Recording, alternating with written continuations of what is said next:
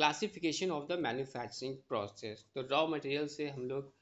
Finish product तक या semi finish product से फिनिश प्रोडक्ट में हम लोग देखें कि मैन्युफैक्चरिंग प्रोसेस अब हम लोग बात करते हैं कि classification of the manufacturing process क्या क्या है क्या क्या इसमें मैन्युफैक्चरिंग प्रोसेस इन्वॉल्व होते हैं। तो अगर हम बात करते हैं पर्टिकुलर उसके फ़ंक्शन के हिसाब से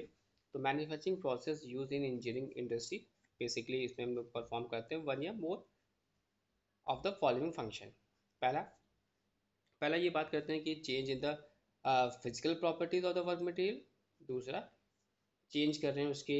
शेप और size of the work piece को. और जो थर्ड वन है हमारा, कि हम जो प्रोडक्ट है प्रोडक्ट डिज़ायर्ड डायमेंशनल एक्यूरेसी और सरफेस फिनिश तो based on the nature of the work involve the this process may be divide in the following seven category तो यहाँ पे हम लोग पहली बात की, या तो उसकी फ़िज़िकल प्रॉपर्टी में, जो वर्क मटेरियल उसकी फ़िज़िकल प्रॉपर्टी में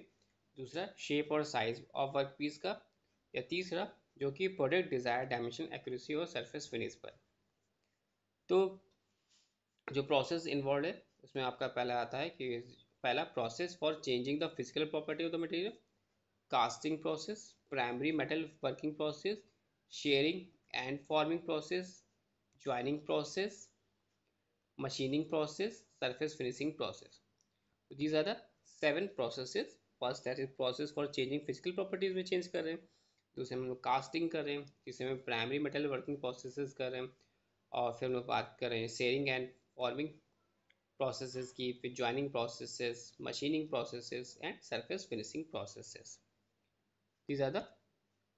processes involved तो आगे बात करते हैं। पहला कि प्रोसेस फॉर चेंजिंग में पहला प्रोसेस की बात करते हैं process for the changing physical property जो फ़िज़िकल प्रॉपर्टी में हम बात करते हैं चेंज करने की तो उसमें जो प्रोसेस इन्वॉल्व होता है, जिसमें कि आता है heat treatment hardening annealing carburising या by repeated mechanical stressing of the material as in a shot peening तो ये जो प्रोसेस होते हैं, ये हमारे आते हैं process in a changing physical property in process के थ्रू हम रॉ मटेरियल प्रोडक्ट में हम लोग फ़िज़िकल चेंजेस को कर पाते हैं। जिसमें कि हम लोग हीट ट्रीटमेंट के बारे में पता है हम लोगों को, जैसे कि हीट ट्रीटमेंट हीट ट्रीटमेंट की बात करते हैं तो heat treatment is the best method of changing properties of the most metal क्योंकि हीट ट्रीटमेंट जो होता है सबसे सुटेबल होता है। हम लोग अलग अलग टेम्परेचर पर मटेरियल को हीट करते हैं और हीट करने के बाद ये तो सडन कूल कर लें या उसको अलग अलग कूलिंग मेथड या अलग अलग टेम्परेचर पर उसको कूल करते हैं तो उसकी फ़िज़िकल प्रॉपर्टीज़ में चेंज होता है तो जो कि हम लोग हीट ट्रीटमेंट मैथड के थ्रू समझते हैं। Heat treatment is the best method for changing the properties of the most metal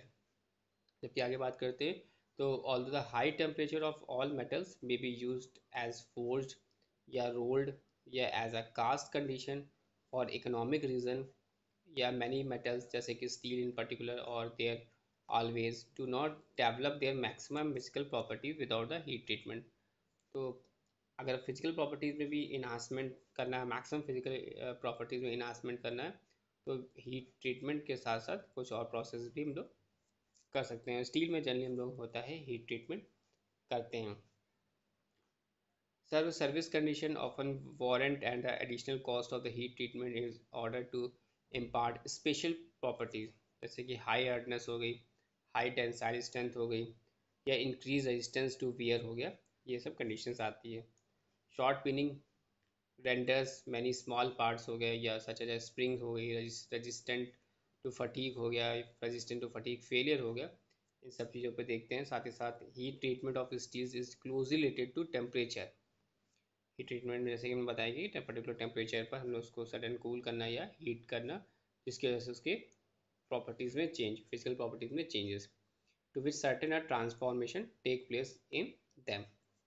बात करते हैं on control heating and cooling की of the crystal of the crystal of which metal is compose change their form they have allotropic properties क्योंकि iron carbon diagram हमने देखा था अलग अलग प्रॉपर्टीज़ में किस तरह से चेंज होता है uh, और उसी का एक फॉर्म है जो कि इलेक्ट्रॉपिक प्रॉपर्टीज़ आता है। नेक्स्ट आपका है all heat treatment process are done with a view uh, view to take advantage of these structure change to and desired characteristics to the work piece तो जो most common heat treatment processes थे जो कि हम लोगों ने देखे थे पहला आता था आपका हार्डनिंग फिर टेम्परिंग एनिलिंग फिर एनिलिंग में हमने पढ़ा था फुल एनिलिंग के बारे में एंड नॉर्मलाइजिंग प्रोसेस के बारे में। उसके बाद फुल एनिलिंग हो गया नॉर्मलाइजिंग हो गया प्रोसेस एनिलिंग हो गया स्ट्रेस रिलीफ एनिलिंग हो गया एंड होमोजिनाइजिंग सरफेस हार्डनिंग तो ये जो प्रोसेस है, ये हमारा हीट ट्रीटमेंट प्रोसेसेस होते हैं। तो ये हमने पहला जो हम लोग यहाँ पे जो पढ़ रहे थे प्रोसेस जिसमें कि पहला बात की गई थी process for changing the physical properties of the material तो फ़िज़िकल प्रॉपर्टीज़ लोग यहाँ पे देखा, सारे मैथड्स को पढ़ा और बेसिकली हम लोग हीट ट्रीटमेंट का जो प्रोसेस है, ये इसमें इवॉल्व होता है।